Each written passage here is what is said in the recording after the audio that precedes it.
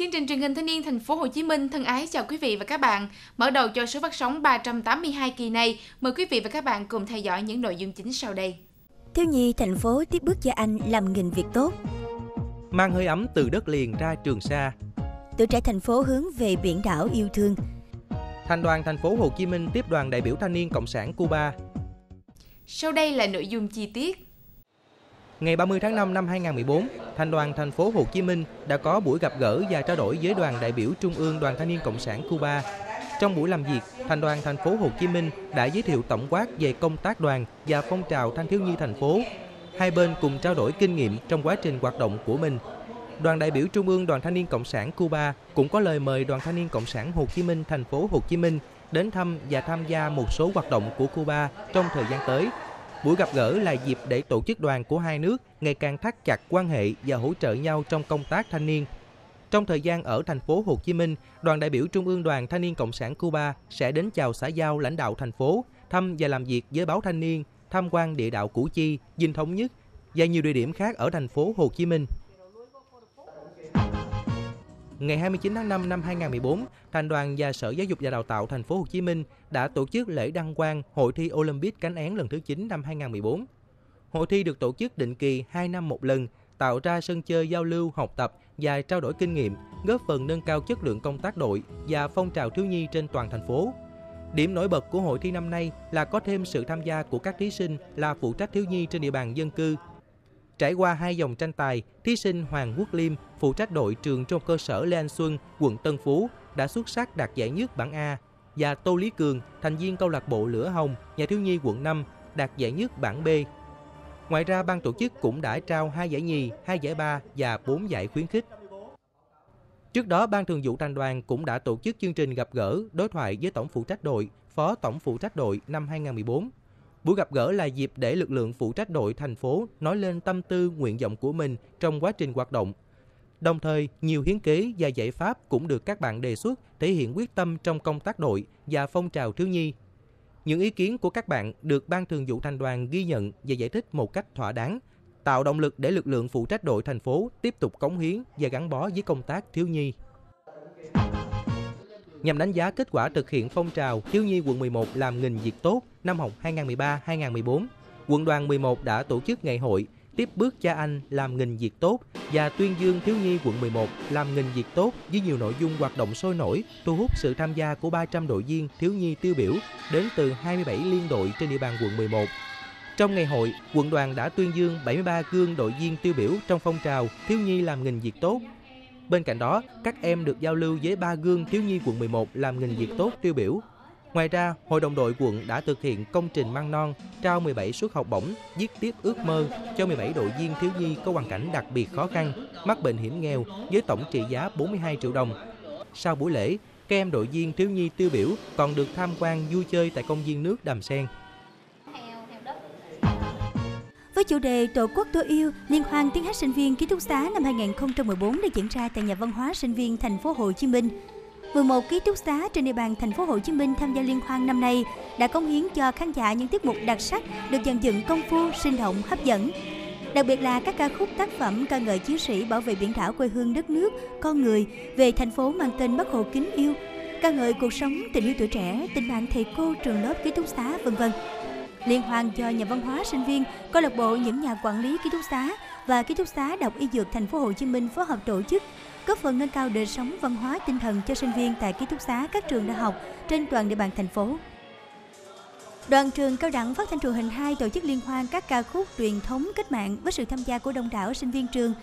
Các tiết mục tham dự liên hoan được các bạn sinh viên chuẩn bị công phu với nội dung ca ngợi quê hương đất nước, ca ngợi đảng Bắc Hồ, đặc biệt là các ca khúc về biển đảo. Hoạt động góp phần đẩy công tác tuyên truyền giáo dục trong đoàn viên thanh niên về truyền thống đấu tranh giải phóng dân tộc,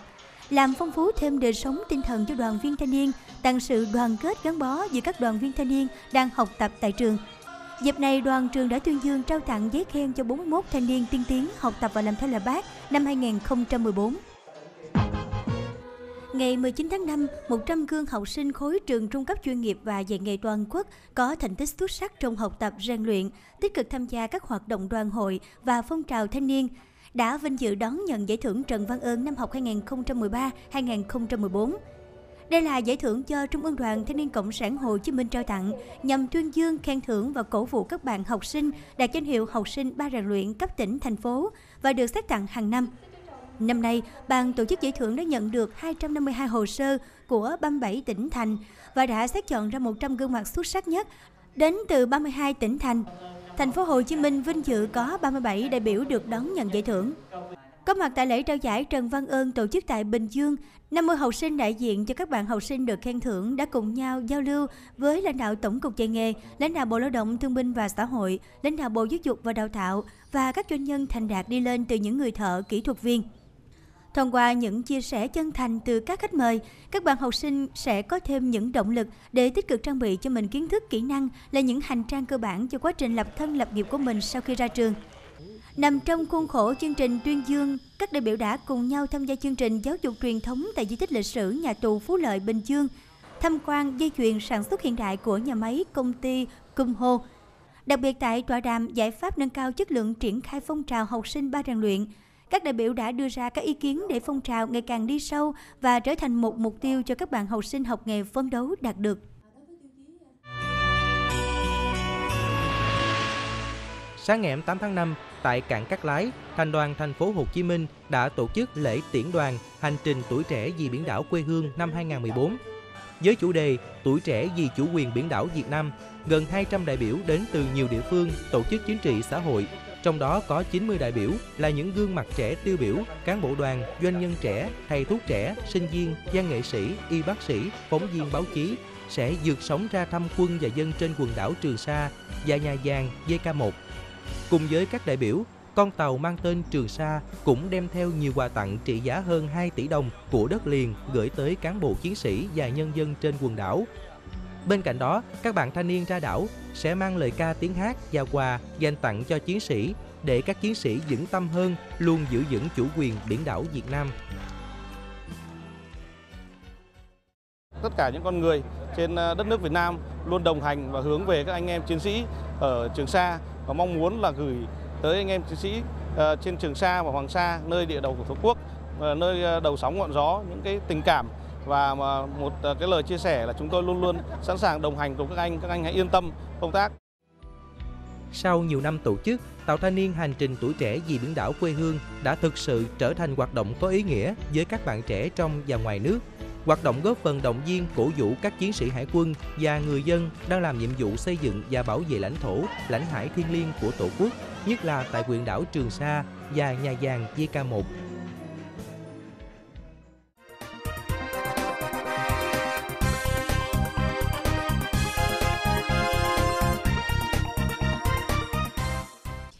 vị, Ngày hội Thiếu nhi làm nghìn việc tốt toàn thành lần 2 năm 2014 do Thành đoàn Thành phố Hồ Chí Minh tổ chức đã tuyên dương các gương điển hình đội viên thiếu nhi tiêu biểu trong học tập, rèn luyện kỹ năng sinh hoạt đội. Liên hoan góp phần xây dựng và nhân rộng nhiều gương điển hình, tấm gương tiêu biểu trong phong trào nghìn việc tốt. Với chủ đề tiếp bước cho anh làm nghìn việc tốt, năm học 2013-2014 đã có nhiều giải pháp hiệu quả sáng tạo trong chương trình công tác đội và phong trào thiếu nhi thành phố góp phần đẩy mạnh phong trào thiếu nhi thành phố làm theo năm điều Bác Hồ dạy. Trong đó, phong trào thi đua nghìn việc tốt được triển khai sâu rộng trong đội viên thiếu nhi đã giáo dục cho thế hệ măng non tình yêu quê hương đất nước, tấm lòng nhân ái, khơi dậy trong các em tinh thần đoàn kết, giúp đỡ bạn bè cùng vươn lên trong học tập. Qua phong trào đã xuất hiện ngày càng nhiều dũng sĩ nghìn việc tốt là tấm gương để thiếu nhi toàn thành phố noi theo.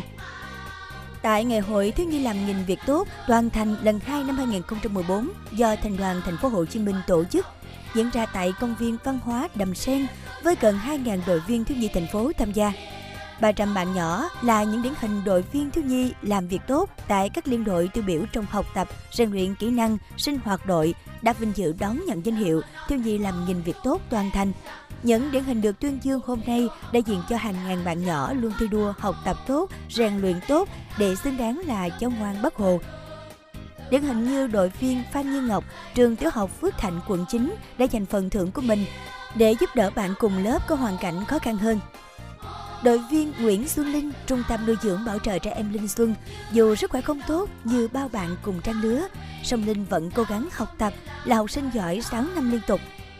hay Trương Diễm Phương, học sinh trường Trung học cơ sở Chánh Hưng, quận 8, đã hơn 10 lần nhặt và trả lại tài sản cho người bị mất.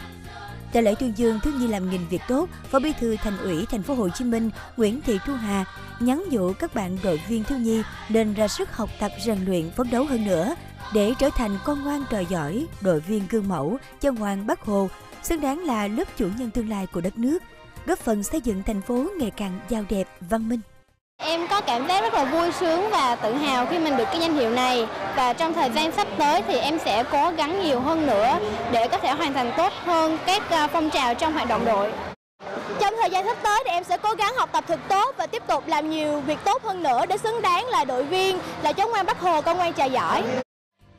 Trong khuôn khổ ngày hội còn có các hoạt động như các sân chơi mô phỏng các trận đánh của chiến dịch Điện Biên Phủ, thăm tặng quà cho các bạn thiếu nhi có hoàn cảnh khó khăn tại các bệnh viện máy ấm trên địa bàn thành phố. Đặc biệt, các bạn thiếu nhi đến từ 24 quận huyện đã trao tặng tập, sách, đồ dùng học tập cho các bạn học sinh khó khăn tại hai tỉnh Cao Bằng và Điện Biên. Những món quà này sẽ góp phần giúp các bạn nhỏ khó khăn tại hai tỉnh có thêm điều kiện học tập tốt hơn.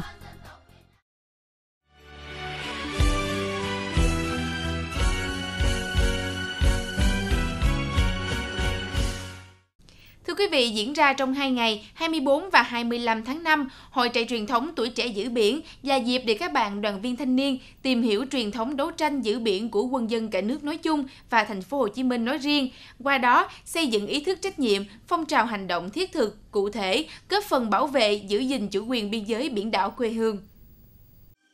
Ngày 24 tháng 5, Thành đoàn Thành phố Hồ Chí Minh phối hợp cùng Bộ đội Biên phòng thành phố đã tổ chức hội trại tuổi trẻ giữa biển năm 2014 và triển khai nhiều hoạt động ý nghĩa thể hiện tình cảm thiêng liêng đối với chủ quyền biên giới biển đảo của Tổ quốc. Tham gia hội trại có trên 600 trại sinh là các đoàn viên thanh niên chiến sĩ trẻ tiêu biểu của thành phố Hồ Chí Minh và đoàn viên thanh niên lực lượng vũ trang vùng 2 Hải quân, vùng 3 cảnh sát biển và Bộ đội Biên phòng Bà Rịa Vũng Tàu. Hội trại được chia thành 6 cụm trại mang tên các hòn đảo lớn thuộc quần đảo Trường Sa của Việt Nam, gồm Trường Sa, An Bang, Nam Yết, Sơn Ca, Sinh Tồn và Phan Vinh. Tại Bảo tàng Hồ Chí Minh, các trại sinh đã cùng dân hoa tưởng nhớ công lao to lớn của Chủ tịch Hồ Chí Minh đối với sự nghiệp cách mạng Việt Nam.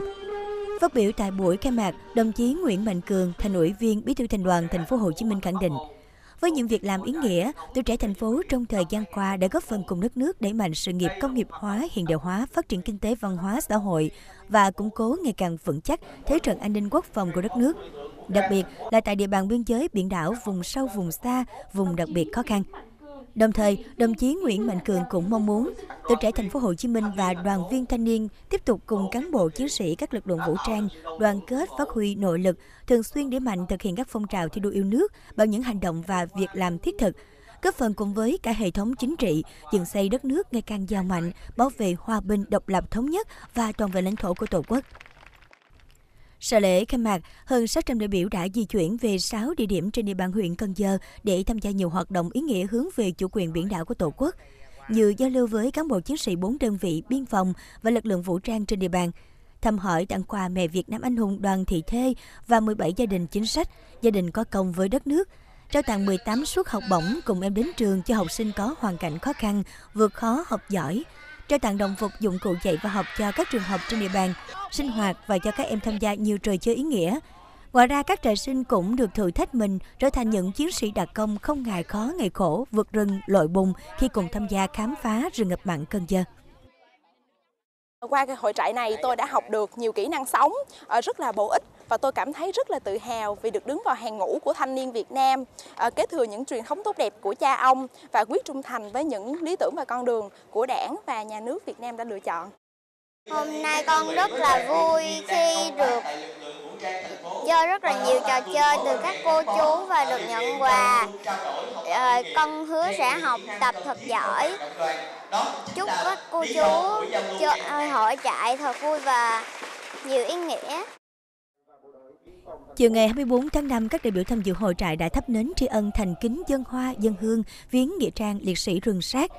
Đứng trước nghĩa trang, dưới hàng chữ thiên liêng tổ quốc ghi công, dưới ngọn cờ tổ quốc đỏ thắm, 600 trại sinh, ai cũng bồi hồi xúc động, bày tỏ lòng biết ơn vì sự hy sinh to lớn của các anh hùng liệt sĩ đã không tiếc máu xương cho sự nghiệp bảo vệ Tổ quốc. Sao trầm ngọn nến mà các trại sinh thắp lên các bia mộ của cha anh là tất cả tấm lòng tri ân của tuổi trẻ thành phố, là lời hứa quyết tâm cống hiến sức mình để xây dựng những gì tốt đẹp nhất cho thành phố mang tên bác hôm nay. Thông qua hội trại này thì ban tổ chức mong muốn là muốn nâng cao tình yêu quê hương đất nước tình yêu biển đảo trong đoàn viên thanh niên thành phố và góp phần giúp cho các bạn nhận thức đúng đắn về trách nhiệm của mình trong việc tham gia xây dựng và bảo vệ chủ quyền ờ, biển đảo Việt Nam. Năm nay ờ, hội trại có một nét mới đó là ờ, các bạn trại sinh sẽ được đến tham gia các hoạt động giao lưu cùng các bạn chiến sĩ ở các cái đồn biên phòng như là đồn biên phòng Cần Thạnh, Long Hòa, Hải đội 2 thì đây là điều kiện để các bạn đoàn viên thanh niên có thể tiếp cận và hiểu thêm về đời sống của người chiến sĩ của bộ đội biên phòng. Tối cùng ngày tại Hải đội 2, Bộ đội biên phòng thành phố Hồ Chí Minh, ban tổ chức đã tổ chức lễ tuyên dương gương điển hình của thành phố Hồ Chí Minh trong phong trào tuổi trẻ giữ biển năm 2014. 600 đại biểu đã cùng nhau gửi tin nhắn tới tổng đài BD 1409 nhằm ủng hộ quỹ chung sức bảo vệ chủ quyền Biển Đông. Các đại sinh còn được giao lưu với Thượng tá Lê Văn Thu, Phó chủ nhiệm chính trị vùng cảnh sát biển 3 và Thượng úy Trương Xuân Hùng, thuyền trưởng tàu 2011 để cùng hiểu rõ tình hình Biển Đông hiện nay ban tổ chức đã trao tặng hơn 24 triệu đồng ủng hộ cán bộ chiến sĩ vùng 3 cảnh sát biển đang thực hiện nhiệm vụ chấp pháp trên khu vực quần đảo Hoàng Sa. Tại hội trại truyền thống tuổi trẻ giữa biển năm 2014, ban tổ chức đã tuyên dương 43 gương tiêu biểu tích cực được phát hiện và nhân rộng trong toàn thể đoàn viên thanh niên thành phố. Có thể nói trong những năm qua, tuổi trẻ thành phố Hồ Chí Minh đã đẩy mạnh công tác tuyên truyền, giáo dục ý thức về chủ quyền biển đảo cho đoàn viên thanh niên thành phố tổ chức nhiều hoạt động thiết thực hướng về biển đảo quê hương, thu hút đông đảo đoàn viên thanh niên tham gia như vì Trường Sa thân yêu, chương trình Cánh thư hải đảo, chương trình góp đá xây Trường Sa. Các hoạt động giao lưu kết nghĩa chăm lo cho người dân đang sống tại các xã vùng biên giới, biển đảo. Những hoạt động đầy ý nghĩa như hội trại truyền thống, tuổi trẻ giữa biển sẽ là dịp để tuổi trẻ thể hiện vai trò xung kích, trách nhiệm trong việc giữ gìn và phát huy truyền thống của cha ông trong sự nghiệp bảo vệ chủ quyền, an ninh biên giới, biển đảo của Tổ quốc.